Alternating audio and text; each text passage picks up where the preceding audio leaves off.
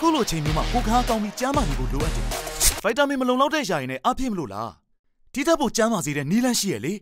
လုံလောက်တဲ့ခွန်အားနဲ့ကိုကန်စွမ်းတွေအတွက်ဗိုက်တာမင် C နဲ့ဗိုက်တာမင် B အုပ်စုအချိုးကျပေါင်းစပ်ပါဝင်လို့နေ့ရက်တိုင်းအတွက်ပိုကျန်းမာစေတဲ့ Enervon C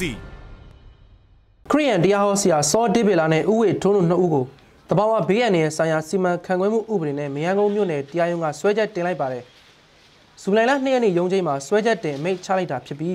ဆွဆွဲခံရသူတွေကအပြစ်မရှိကြောင်းထုချေလွှာလျှောက်ထားခဲ့တယ်လို့သိရပါတယ်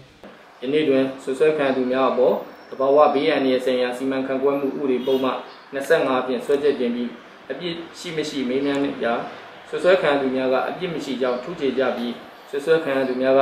ကယ်လိုပြသက်တွေဒေါက်တာနော်အဲထူးထူးအားပြန်ခေါ်စစ်မေးလိုကြောင်းလျှောက်ထားတဲ့ဖြင့်ဒေါက်တာနော်အဲထူးကိုစစ်ဆေးရန်အတွက်9ရက်9လ2020ရက်နေ့သို့ချိန်ဆထားရှိခဲ့ပါကြောင်း ဖြေကြားလိုပါတယ်။ဆွဆွဲခံရသူနှစ်ဦးဟာပြီးခဲ့တဲ့ဇွန်လ3ရက်နေ့က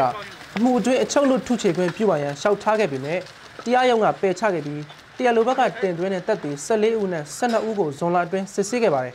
။ဆွဆွဲခံရသူတွေဘက်ကရှင်းနေကတော့တပ်တွေတင်သွင်းမှုရှိမရှိပြောဖို့စောသေးတယ်လို့ဆိုပါတယ် charge တင်တယ်ပေါ့နော်တရားစွဲတင်တဲ့ပုံမှန်တွေ charge တင်တယ်ဖြစ်ရှင်းရမှာပေါ့နော်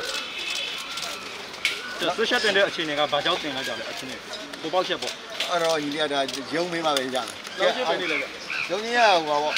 အင်္ဂါနေ့ခဏလေးခဏလေးခေါ်တာသေးလားဆရာလက်တယောက်ခေါ်တာလေဟုတ်ကဲ့ဆရာဟောတော့ဆရာတို့ဘက်ကဘာတက်တယ်ပြင်ပြဖို့အခြေအနေလေးကိုရှိနေစောသေးတယ်ဟုတ်ကဲ့ဒီကောရှိတယ်ဟုတ်ကဲ့အောက်ဆန်းကိုလက်ရှိချိန်ထိစောဒေးဗစ်လာနဲ့ဥဝေထွန်းတို့ကိုမြန်ကုန်းမြို့နယ်တရားရုံးမှာရုံးထုတ်စစ်ဆေးမှု6ချိန်ရှိသွားပြီဖြစ်ပြီးရုံးထုတ်လာစဉ်တရားရုံးတကဝအထိအချုပ်ကားထိုးကထီးရည်နဲ့꿰ပြီးရုံးထုတ်တာကိုတွေ့ရပါတယ်။ တရားဟောဆရာစောဒေးဗစ်လာတို့ပြုလုပ်တဲ့ဘာသာရေးဆိုင်ရာစုဝေးမှုတွေကိုတက်ရောက်ခဲ့သူတွေအပါအဝင်အနိကထိတွေ့မှုရှိသူအနည်းဆုံး82ဦးမှာယောဂဘိုးတွေ့ရှိခဲ့ကြောင်းကျန်းမာရေးနဲ့အားကစားဝန်ကြီးဌာနရဲ့မေလ19ရက်နေ့ကထုတ်ပြန်တဲ့ COVID-19 အခြေအနေအစီရင်ခံစာအရသိရပါတယ်။တရားဟောဆရာစောဒေးဗစ်လာနဲ့ဥဝေထွန်းတို့ဟာ